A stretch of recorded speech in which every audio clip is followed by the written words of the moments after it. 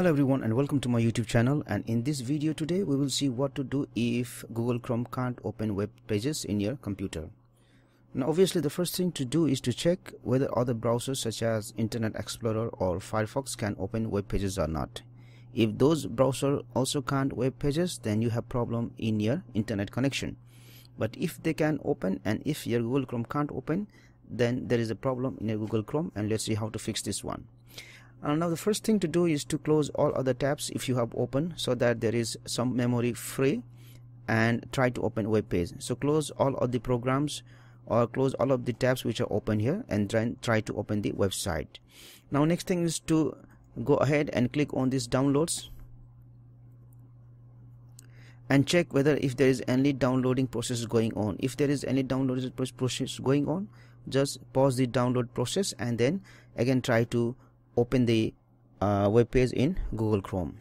Now the other thing what you will do is if there is any custom home page for your Google Chrome instead of Google or blank page then try to remove it. For that one go to settings menu here. Go to settings. And on this under this on startup what you select is open the tab uh, new tab page instead of any custom home page and again try to open a website in Google Chrome. Now the other thing what you do is if there are other extensions and applications for the Google Chrome browser then try to disable those extensions and see whether you can open the web page or not. So how do you do that one? Once you go to the settings here once you go to here settings click on extensions.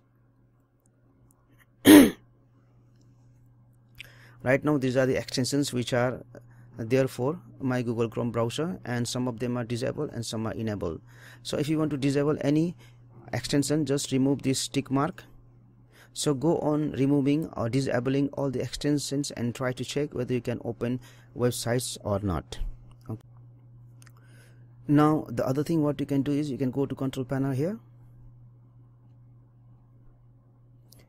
Go to this internet options go to this connection and click on LAN settings here. And if you have enabled any proxy and remove that proxy and click OK OK and again try to open the websites in Google Chrome. So the other thing what you will do after this one is you will go to settings again you will go to system. Let me find system here.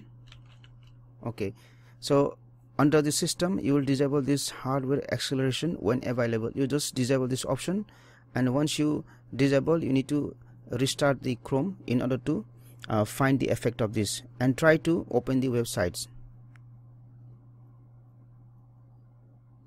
Now if all of these options which I have mentioned above doesn't work then what you do is you click on this reset settings button here.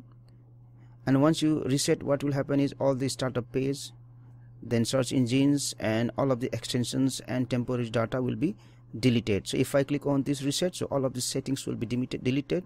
And what happens is your Google Chrome will start uh, with a with a new new browser as if you have just installed Google Chrome. So this will be the last option. And then again try to restart your uh, try to just open a web page in Google Chrome now this is the last option and if this option also doesn't work then what you can do is if you have created a restore point for your system then you can always go back to the restore time and just see whether uh, your google chrome will open or not. But once you uh, once you restore your computer to the earlier point of time then what happens is the applications which you have installed after that restore point of time it will be deleted. But your data and your files won't be deleted so try out these uh, tips and check whether you can whether the google chrome can open web page now or not. Thank you for watching this tutorial. If you found this video helpful then please like share and subscribe to my youtube channel for more tips and tricks. Thank you